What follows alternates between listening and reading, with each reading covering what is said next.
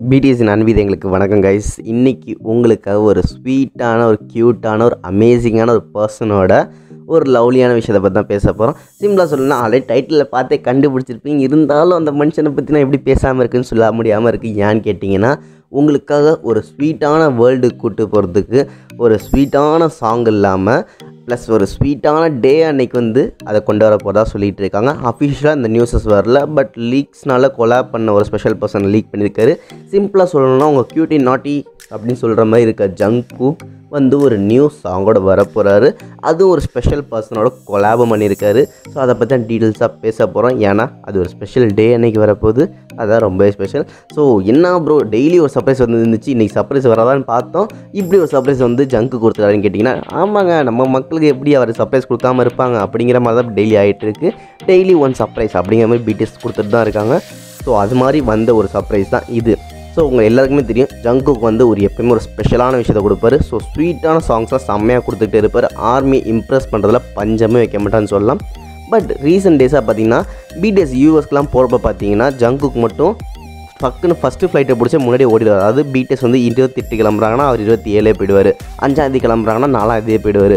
So இது மாதிரி போயிட்டுருக்க நிறைய ஹேட்டர்ஸ் இருக்காங்க. அவங்க சும்மாவாக இருப்பாங்க. அவன் கிளப்பி விட்டதுன்னு பார்த்தீங்கன்னா ஒரு வேளை ஜங்குக் டேட்டிங் பண்ணுறாரு அதனால தான் போய் அங்கே அப்படி பண்ணிட்டு இருக்கான்னு சொல்லி நியூஸ் வந்து கிளப்புனாங்க. பட் இப்போ ஒரு நியூஸ் வந்து ப்ரூஃப் ஆயிடுச்சு. அதாவது என்னென்னா ஜங்குக் தான் வந்து இந்த விஷயத்துக்காக தான் வந்து அவர் சீக்கிரம் சீக்கிரம் போயிட்டு இருந்தார். ஸோ இது யார் கூட கொலாப் பண்ணான்னு கேட்டிங்கன்னா சார்லி பாத் அப்படின்னு ஒரு ஆல்ரெடி ஒரு சிங்கர் இருக்கார். அவர் கூட தான் கொலாப் பண்ணியிருக்காரு. இந்த நியூஸஸ்லாம் எப்படி லீக் ஆகி வந்துச்சுன்னு கேட்டிங்கன்னா ரொம்ப ரொம்ப நாளைக்கு முன்னாடி பார்த்தீங்கன்னா அவர் ஆல்ரெடி ட்வீட் நிறையா போட்டுட்டு இருந்தார் என்ன ஃபஸ்ட்டு சார்லி பார்த்து என்ன போட்டாருன்னு பார்த்தீங்கன்னா என் லெஃப்ட் சைட்லேயும் ரைட் சைட்லேயும் சம் டியூன்ஸ் வாய்ஸஸ்லாம் கேட்டுட்ருக்கு பட் அதை பற்றி உங்களால் சொல்ல முடியாது அப்படின்னு சொல்லி சொல்லியிருப்பார். ஸோ அவர் லெஃப்ட் அண்ட் ரைட்டுன்னு சொன்னது பார்த்திங்கன்னா அந்த சாங்கோட நேம் அதான் இருக்க போதுன்னு சொல்லி சொல்லியிருக்காங்க.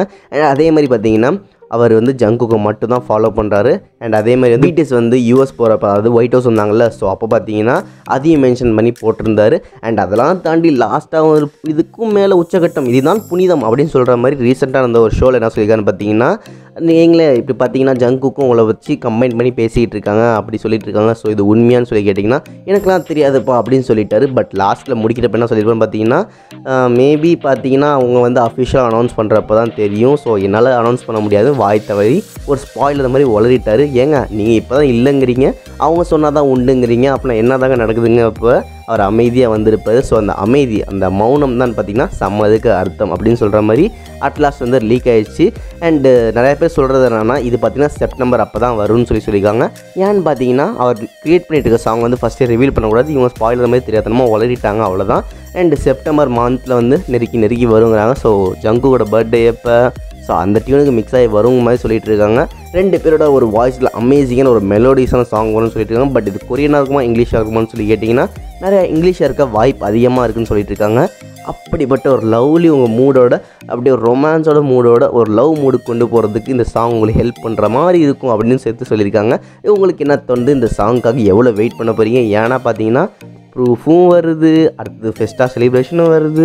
அண்ட் அது மட்டும் இல்லாமல் வேர்ல்டு டூர் வர மாதிரி சொல்லிட்டு இருக்காங்க இந்தியா வெட்டி பார்க்க போகிற மாதிரி சொல்லிட்டு இருக்காங்க அண்ட் அது மட்டும் இல்லாமல் இந்த சாங்கும் வர போகிற மாதிரி ஒரு பேச்சுக்கள் வந்துட்டு இருக்கு ஸோ இது மாதிரி சர்ப்ரைஸை சூழ்ந்து சூழ்ந்து வச்சு உங்களை ஒரே ஹாப்பினஸ் ஒரே மஜா மூடில் வச்சுருக்க பிடிஎஸ் என்ன சொல்ல ஆசைப்படுவீங்க? அதான் இன்றைக்கி கமெண்ட் செக்ஷனில் இருக்க உங்கள் கொஸ்டின்ஸ் அண்ட் அதே மாதிரி வந்து நேற்று நான் கமெண்ட் செக்ஷனில் சொல்கிறவங்க பேர் நான் கண்டிப்பாக மென்ஷன் பண்ணுறேன்னு சொல்லியிருந்தேன். ஸோ அது மாதிரி ரெண்டு பேர் சொல்லியிருந்தாங்க. அவங்க ரெண்டு பேர் யாருன்னு பார்த்தீங்கன்னா ஸோ ஃபஸ்ட்டு பர்சன் யாருன்னு பார்த்தீங்கன்னா ரேணுகா மங்களா. இவங்க பார்த்தீங்கன்னா ஓய் அண்ணா அண்ணா your voice is so cute I am Sri Lanka நாங்கள் பெரிய பிக்கெஸ்ட் ஃபார்மி ஸோ எங்கள் நெக்ஸ்ட் டைம் எங்களோட நேம்லாம் மென்ஷன் பண்ணுங்க சொல்லி நிறைய நேம் சொல்லியிருக்காங்க. அதாவது தர்ஷி தக்ஷி திலக்ஷி அப்படின்னு சொல்லிட்டு ஒரு மூணு நேம் சொல்லியிருக்காங்க. பட் நான் கரெக்டாக வாசினான்னு தெரியல. இந்த மூணு நேம் சொல்லியிருக்காங்க. நான் வீட்டில் ஆட் பண்ணுறேன் ஒருவேளை தப்பாக இருந்தால் கோச்சிக்காங்க. இதுதான் names so thank you thank you உங்கள் லவ்லி கமெண்ட்டுக்காக நான் தான் உங்கள் பெரிய ஃபேனு சொல்லுவேன். ஏன்னா அவ்வளோ ஸ்வீட்டாக நீங்கள் சொல்லியிருக்கீங்க.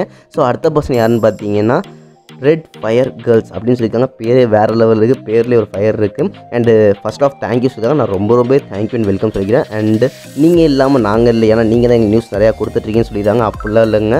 உங்களுக்கு லவபிள் மெசேஜ் நிறைய வேர்ட்ஸ் வந்து நீங்கள் என்ன கொடுத்துட்ருக்கீங்க அதுக்காக தான் நான் உங்களுக்கு நிறைய நியூஸஸ் கொடுத்துட்ருக்கேன் அண்ட் தேங்க்ஸ் ஃபார் இந்த விஷயம்லாம் சொன்னது. அதுவும் ரொம்ப பெரிய கமெண்ட் அதாவது நீங்கள் இல்லாமல் நாங்கள் இல்லை அப்படிலாம் சொல்லியிருக்கீங்க. ஸோ ரொம்ப ரொம்ப லவ்லி லவ்லி லவ்லி தேங்க்ஸ் சொல்லிட்டு அண்ட் இதே மாதிரி வந்து நீங்களும் நெக்ஸ்ட் கமெண்ட் வந்து வீடியோ கீழே கொடுங்க. அது மாதிரி ஸ்பெஷல் கமெண்ட் கங்கராலேஷன் யார் கொடுக்குறீங்கன்னு பார்ப்போம். அண்ட் அது மட்டும் இல்லாமல் நெக்ஸ்ட் ஸ்பெஷல் நியூஸஸ்லாம் அடிக்கடிக்கு வந்துட்டு அதை அடுத்த வீடியோஸ் வாட்ச் பண்ணுவோம். ஸோ அண்டில் பாய் மறக்காமல் ஃபஸ்ட் சப்ஸ்கிரைப் பண்ணிக்கோங்க. ஸோ சராங்கே டேக் கேர் டாட்டா நான் தான் ஆஜி பபாய்